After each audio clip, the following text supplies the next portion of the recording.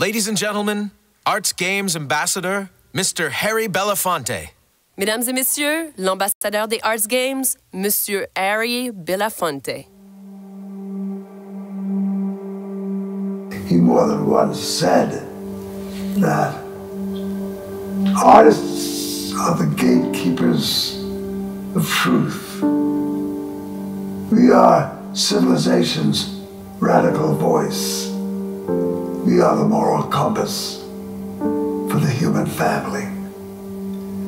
Many of us who believed that utterance, believed in that statement, began to commit ourselves to a world of the arts that was used for the purpose of the betterment of the human family.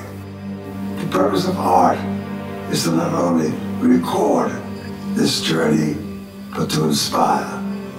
He also said that art is meant to show life not just as it is, but to show life as it should be. And I think that with the arts games, where artists come together and display their universal power, display the works that they have achieved for others to see is a noble effort.